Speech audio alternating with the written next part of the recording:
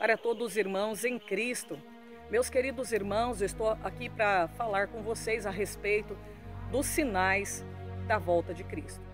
Nós sabemos que Jesus, ele está para voltar, para arrebatar a sua igreja. Estão aí os prenúncios da volta de Cristo, ou sejam, os sinais da volta de Cristo. Um deles é a apostasia, o abandono da fé. Quantas e quantas pessoas têm feito um naufrágio na fé? Quantas pessoas têm abandonado a sua fé? Aquilo que creram um dia, quantas pessoas acreditavam em profecias, criam na Bíblia Sagrada como um livro inspirado pelo Espírito Santo de Deus. Quantas pessoas acreditavam em Jesus Cristo como Filho de Deus, como Deus.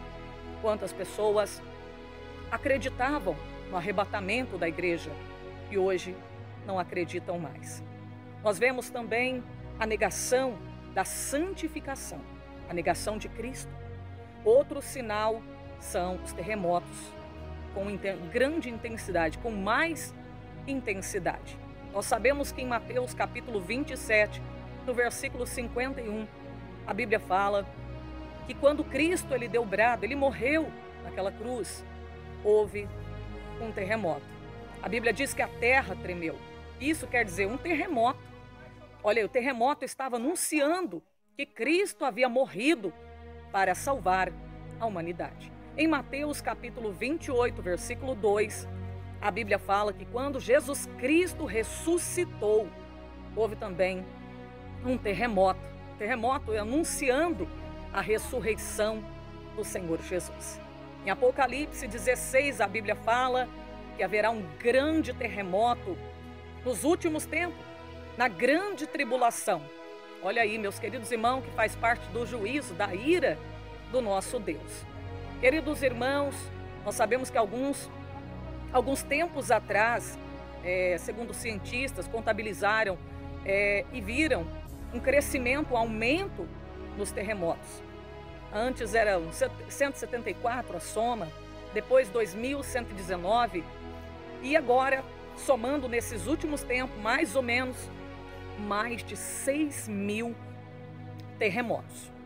Então, com isso, nós podemos ver que Jesus está voltando está vindo para buscar a sua igreja. Nós vemos também que está se cumprindo Mateus 24 e o versículo 12, onde a Bíblia diz que o amor de muitos, que o amor de muitos se esfriaria.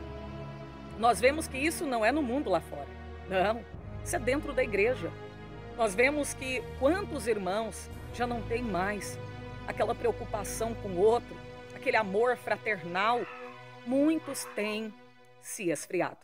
Cumprindo-se assim este versículo, mais um versículo da Bíblia Sagrada. Isso é mais um sinal da volta de Cristo. Nós vemos também o buraco na camada de ozônio, nós vemos o aumento do câncer, tudo por causa disso. Nós vemos aí é, o aquecimento global, que com o aquecimento global nós vemos que a geleira tem derretido. É, certa feita, houve um acontecido, um, uma grande pedra de gelo se deslocou da, da Antártida, mais ou menos 2.900 quilômetros, e a gente sabe que isso pode causar inundações, é, tsunamis, e se Jesus não voltar até 2040, muitas cidades vão desaparecer devido ao aumento é, da quantidade de águas do mar, as inundações, os tsunamis. É, tudo isso está indicando, meus queridos irmãos, que Jesus está voltando, ele virá. 1 Tessalonicenses capítulo 4, versículo 17. Jesus vai descer e ele virá com voz de arcanjo, alarido e trombeta de Deus para arrebatar a igreja. A igreja se encontrará com Jesus nos ares. Isso é uma promessa de Deus que está em João 14, uma promessa de Jesus. Ele foi preparar a morada, a morada já está preparada. Ele só aguarda a palavra de ordem do Pai para buscar a sua igreja.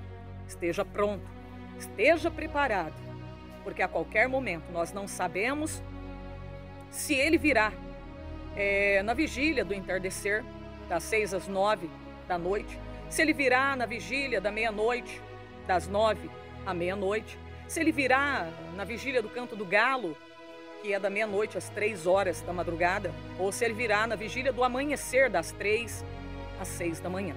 A Bíblia fala em Marcos 13, 32, daquele dia e hora ninguém sabe. Nem os anjos e nem o filho. Somente o Pai. Jesus falou isso estando na sua natureza humana. Ele, como Deus, ele sabe o dia que ele vai voltar.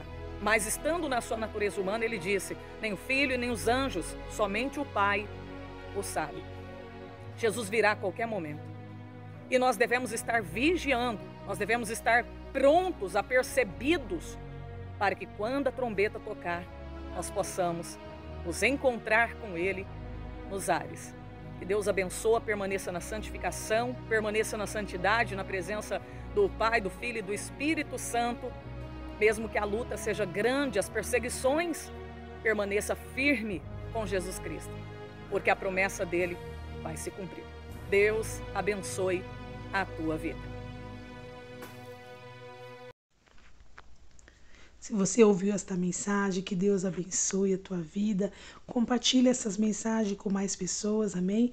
E deixe um comentário ou um pedido de oração que nós estaremos orando. Deus abençoe a todos.